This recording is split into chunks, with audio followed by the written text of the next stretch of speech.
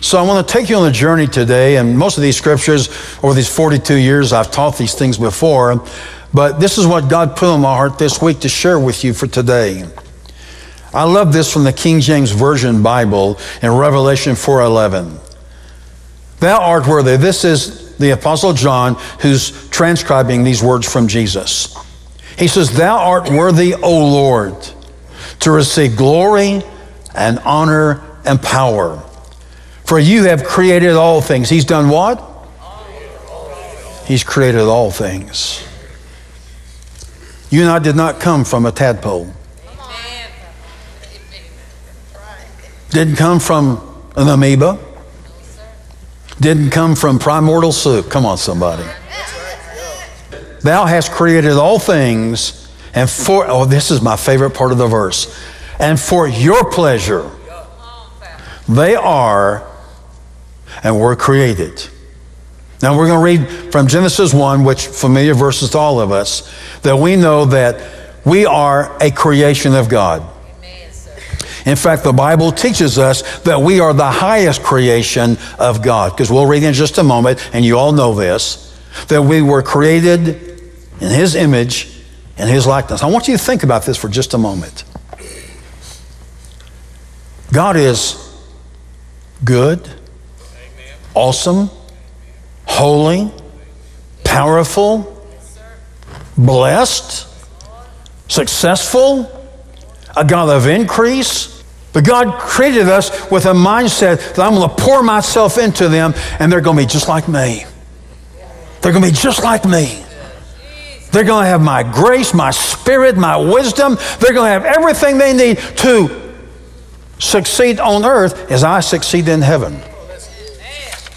Genesis 1 26 and 27, God said, Let us make man, mankind, in our image, according to our likeness. Let them have dominion. And I'll skip some over all the earth. Verse 27. So God created man in his own image. In the image of God, he created him, male and female, he created them. So notice it says that he gave them dominion. You look up the word dominion in the Hebrew text, in Strong's Concordance, it gives one word definition rulership. That's the title of today's message rulership. God is a ruler. God is not the head of a democracy. He's not. He's the head of a kingdom. And in the kingdom, he rules.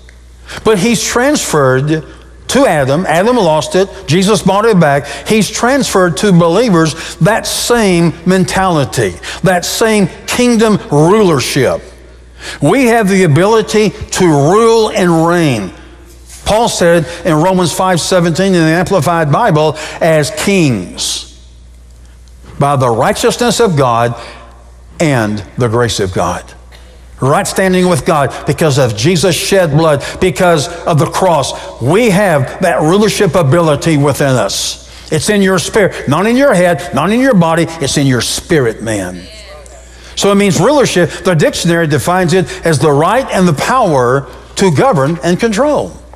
The right and the power to govern and control. This is how God operates. God rules the universe. God is in control of the universe. He's in control. But for mankind, you've got to give him control. He won't take control. God doesn't wake you up every morning and say, Well, today I want you to eat Cheerios and not Wheaties. He doesn't do that. He gives you those choices of decision. But when you're a man and a woman who is seeking first God and His kingdom and His righteousness, you're having the mindset, the attitude of Christ likeness in your life. And I know in my life, and I'm, I'm fallible, of course, but in my life, I hit on things by what I would say accident more than I used to on purpose. Things will just happen by accident. Again, that's a poor choice. I can't think of another word. Things will just happen. Why? Because I'm seeking first His kingdom. Things just begin to happen for me. Doesn't mean I have to, I don't have to fight for of faith. I do. Yeah, you got to do that, which I teach you. But God is so good. When you're just seeking Him, good things start happening. Why? Because you become more and more like him. You know, and we'll read that later on. The Bible says, put on the Lord Jesus as a believer. Put him on and make no provision for the flesh. Don't compromise. Don't make provision. Well, if A doesn't work, I'm going to go to B. That's the wrong way to live your life as a believer. God wants us to be spirit led. I was thinking about this this morning when I was shaving. Kenneth Hagin, who's gone on to be with the Lord, one of the pioneers of the faith movement, he taught us that to use an alarm is to set your faith back. Something that simple. Something that simple. That if you'll just, Holy Spirit, I want to wake up tomorrow morning at 7.30. He'll wake you up at 7.30. Amen. I know some of you going, what? What? Yeah. Holy Spirit wants to lead us in every endeavor of our, even the little small things. And this is what this is what one of the precious things in my life that I have with my heavenly Father. These little things. Little things mean a lot to me. I, maybe you as well. They mean a lot to me. And when God just does little things, it's like uh, the Penn State, uh, Ohio State football game was on yesterday, and they have a tuba player. Before the game, on Ohio. They spell out Ohio, the band does, and there's one guy who dots the I. Those little things are like God dotting the I for my life. It's, it's just, it's precious. And so, three things I'm going to say from the word today that God says that you have rulership over. It's your choice. God will not take rulership where He's given it to you. He will not take it. He will not, will not, will not. He's given you rulership. Now, rulership comes under the headship of the Godhead, of Jesus, our Savior. That we stay in communication with Him at all times. And so, the number one thing that we have dominion over and we must exercise is Satan, the devil. In Luke 10 19, Jesus said, Behold, I give you the authority, the authority to trample, to tread on serpents and scorpions, and that's just a type of, uh, of uh, demon spirits. And over all the power, the Greek suggests this, over all the ability of the enemy. And I love this part. And nothing, nothing shall by any means hurt you. James 4 7, James wrote, Therefore submit to God I've already taught that today. Resist the devil. Actively fight against the devil is what that word resist means, and he will flee from you. The devil laughs at people when they resist him, but they're not submitted to God. He laughs. But you have authority and dominion over the devil. You have rulership over the devil. And I guess for the last year, I've really been motivated by God's Spirit in me to teach more and more along these lines. Because there is so much demonic activity in our world, in the Church of Jesus Christ universally today. The devil is running an onslaught war against believers. He is. More than in my lifetime since I've been a believer. And so you have to know your rights in Christ. You have to know that you have the ability to resist him. Paul said to us in Ephesians 4 give no place to the devil. He said in 2 Corinthians 2, you're not to be ignorant of Satan's devices. That's why I teach it. You need to be understanding of what his devices are against your life. And those devices are primarily lies and deceptions, which are pretty much one and the same. He lies. So you have dominion, you, you have rulership over the devil. Number two, I'm giving three today. Number two, you have dominion over the world system. You know, Jesus said to us in the sermon uh, about uh, the, uh, the harvest. Uh, the, the sower sows the word. Mark chapter 4, Matthew 13, and I think Luke 8. You'll find it all three of those. And he said, the person that is aligned to a thorny heart, is one who hears the word with joy. But then he said, the cares of this life, the worries of this life. And then he also said, the deceitfulness of riches and the desire, the King James says the lust for other things entering in, choke the word, and their life becomes unfruitful. Now, what I see as a pastor, I think all three of those things are in play today. But I think one of the major ones of those three are the cares of this life, the cares of this world that we have to resist. In Romans 12, 2, New King James Bible, Paul writes, Don't be conformed to the world.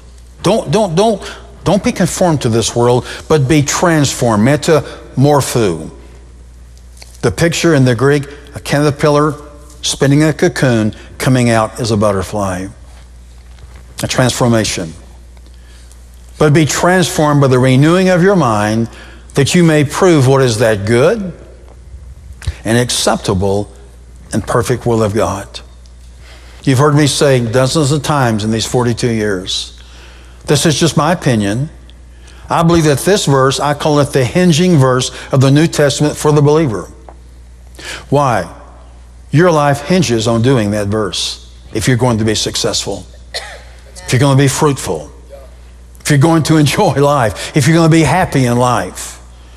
You've got to start adhering to this verse that you may prove, experience, test out what is that good and acceptable and perfect will of God. Amplified says, don't be conformed to this world, this age, fashioned after and adapted to its external, superficial customs. This world's crazy right now. The world is turned upside down right now. And, church, I, I, I want to tell you it's going to get better, but it's not. The world system is not going to get better. Now, you and I can get better. Amen. The church can get better, which I believe we're going to. But the world's not. He says in the NLT, New Living Translation, don't copy the behavior and the customs of the world, of this world. I mean, how more plain can you get? This world is trying to suck us into its way of doing things. Paul said, don't do that. Don't do it. You're asking for trouble. You're cruising for a bruising, as my dad used to say. the message reads Don't become so well adjusted to your culture. Oh man, what a key word today. That's a hot word today. He said, Don't become so well adjusted to your culture that you fit into it without even thinking. Yeah. And lastly, the Passion Translation. Stop imitating the ideals and opinions of the culture around you. Uh, this is clear, folks. Again, it's your choice, my choice. God will always love us and always be merciful no matter what. That doesn't mean you're going to be successful. Doesn't mean that you're not going to have heartache in your life, because you will. You start pulling back from the things of God, you're going to suffer things in your life. You start pulling back and going back to the world's way of doing things, you're going to suffer in life. God doesn't want you to suffer that way. The only suffering that you will do in life as a bona fide, on fire, passionate Christian is persecution Amen. for being the way you are, a child of God, living it out. And of course, let's also teach that the suffering we do, the flesh versus the spirit, which we'll talk about in just a moment. So here's the antidote for all this 1 John 5 4 For whatever is born of God overcomes the world. Amen. It's the same word, world, in Romans 12 2. Cosmos, the world system. He said, and here's the key this is the victory that has overcome this world system our faith. It's how you do. You live by faith every day. Holy Spirit, I'm believing in you today that you're guiding my life. I'm going into this sales meeting today. Holy Spirit, you're going to guide me and give me what I need to say. Holy Spirit, I have a presentation here from my boss. You're going to give me what to do and say today. I believe it. Help me. Every detail of your life, He would like to be involved. Now, if you don't want Him involved, He won't be involved. He's a gentleman. But He will be involved just the way He was with Joseph in Genesis 39. He made him successful and prosperous because God was with him. He'll do that for you as well because He loves you. Remember, He created you with the intent to pour Himself into you, to pour His wisdom, His knowledge, His understanding, His anointing, His strength. Everything God did, He poured into you. Adam lost it, Jesus bought it back at the cross. You're born again, you got the new creation living within you, you got God living within you. So you have rulership over the devil, you have rulership over the world system, and you have rulership over your flesh. So, what is my flesh? Is that my body? No, no. I guess it could include your body. No, when the Bible talks about your flesh, he's talking about that part of your life that always, even as a believer, even as a strong believer, that always wants to sin. Always wants to do what he wants to do. I can use this word that part of your life that wants to rebel against God. Well, I'm going to show that pastor. I'm going to show him. I'm going to show my parents. I'm going to show them. I'm going to show my boss. I'm going to show him. That's the flesh. The Bible does not suggest to live your, your life that way. In 1 John 2 16, John writes, For all that is in the world, the desires of the flesh and the desires of the eyes and the pride of life, this is not from the Father, but it's from the world. It's from the world that you have dominion, rulership over. And these things are constantly attacking us. And listen, you can get victory today, wake up tomorrow morning, start all over again, something else. You, got to, you have to understand this. You're in a fight. The, uh, Paul said in Ephesians 6, you're, you're in a war. There, there's warfare taking place around your beautiful life. He said, These things are not from the Father, the desires of the flesh, the eyes, and the pride of life. Look at Galatians 5.17. He says, For the desires of the flesh are against the Holy Spirit. Pretty clear, isn't it? Isn't that clear? It's clear. The desires of the flesh, they're the antithesis of what Holy Spirit desires for your life. They're opposite. See, you can choose to be mad and angry because you don't understand something, or you do understand something in your narrow point of view, but that's not Holy Spirit. That's not Holy Spirit. That's you and your flesh. The enemy's behind all of it, of course, because he wants you to be a hater. He wants you to be angry and become embittered. That's what he wants.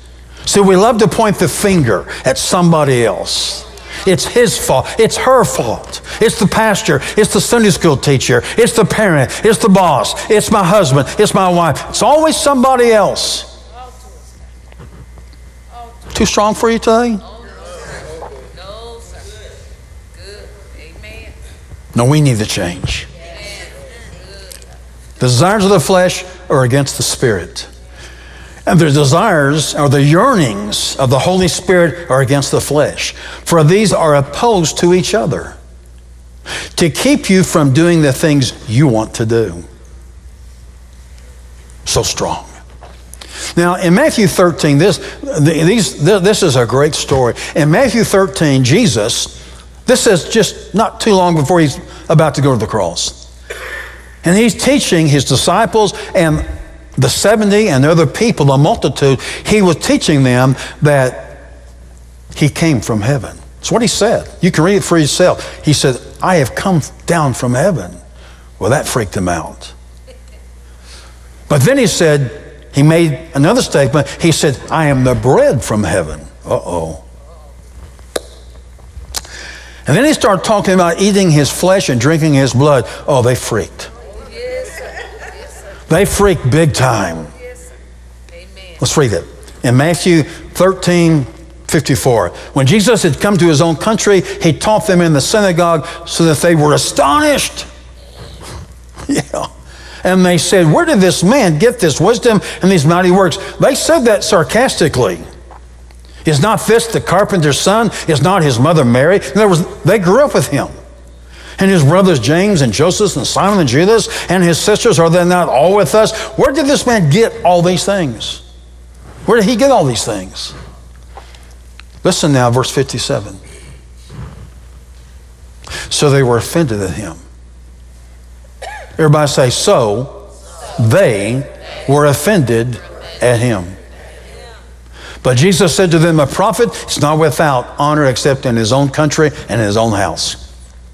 Now, he did not do many mighty works there because of their unbelief. It's amazing. So when you look up the word offended in the Greek concordance, it's the Greek word scandalizo. It's spelled S K A N D A L I Z O, scandalizo.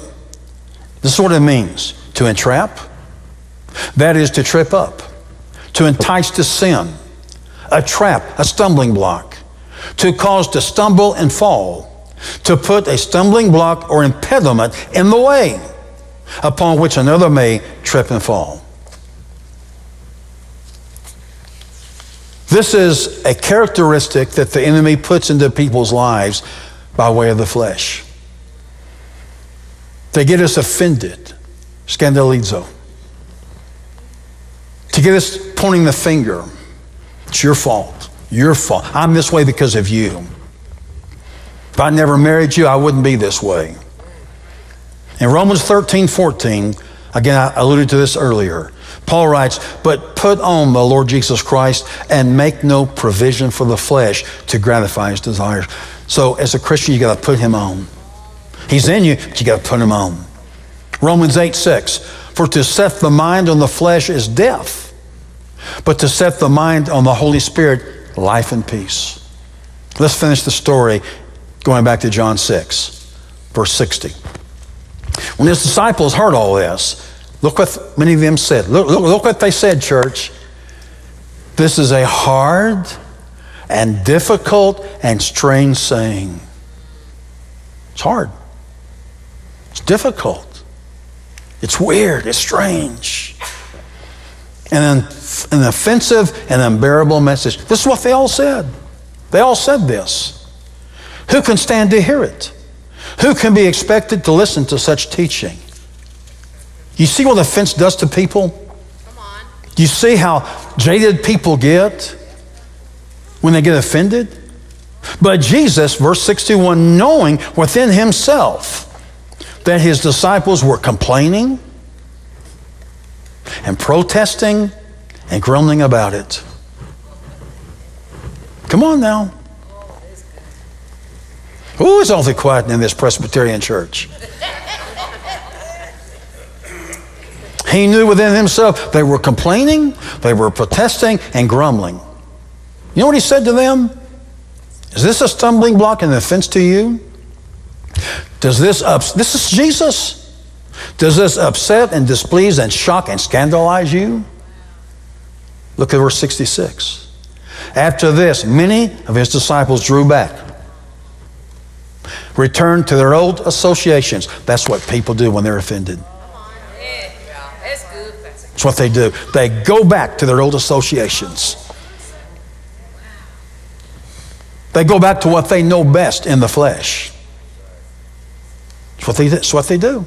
100% of the time they do it. And no, longer, no longer accompanied him. Oh, how sad. Jesus said to the 12, Will you also go away? And do you too desire to leave me? Look what Peter said. He said, Lord, to whom shall we go? You have the words, the message of eternal life. Peter did something right there. I promise you, they were offended too. The Bible says they were. They were all offended. But he had enough temerity in his life to not turn back with the rest of them and to go forward. And he ended up preaching the very first New Covenant sermon in Acts chapter 2, the very first one. The day the church was formed and created, he preached the first message, and I close with Galatians 5.13. Paul writes, For you were called to freedom, to liberty. Brothers, church, only don't use your freedom as an opportunity for the flesh, but through love serve one another. You know what love will never be? Offended. Love will never be touching. Love will never look with the stink eye at somebody. Won't do it. That's an old term, stink eye. Love won't do that. See, some of you right now, you're very uncomfortable because the word has hit you right square between the eyes. I understand that. I understand that. You needed it. Some of you needed it. Some of you did. Some of you, this is just graving. For some of you, needed this. It's a word spoken in due season. You have rulership over the devil. You have rulership over the world system. You have rulership over your flesh. My advice, my counsel, exercise it. Exercise it. In Jesus' name. Amen. So, as we learned today, one of the very first gifts God gave mankind in Genesis 1 was the gift of dominion or rulership. And so today I showed you that you have authority over three entities in this world. Number one, you have authority and dominion over the devil. Number two, you have authority and dominion over the world system. And number three, you have authority and dominion over your flesh. The Bible says, Greater is He who is in you than he that's in this world. You have God's dominion, God's authority to rule and reign in life as a king and a priest through the Lord Jesus Christ. I want to thank you for joining with me on the Voice of Faith today. I remind you, God loves you. We love you. Till we see you next time, God's blessings be yours. The message you heard today from Pastor Don Caywood is part of a series called Giving God Your Heart. At OCFC.store, you can stream or download this complete series and many other life building messages anytime, any place. Start your free trial today. Voice of Faith is produced at Odessa Christian Faith Center, a church that is always building great lives. We are located at 9000 Andrews Highway in Odessa, Texas. Our Sunday worship services are at 9 a.m., 10:45 a.m., and 12:30 p.m., which you can watch live at ocfc.online.church. We also worship together on Wednesdays at 7 p.m. Find out more about us at ocfc.org.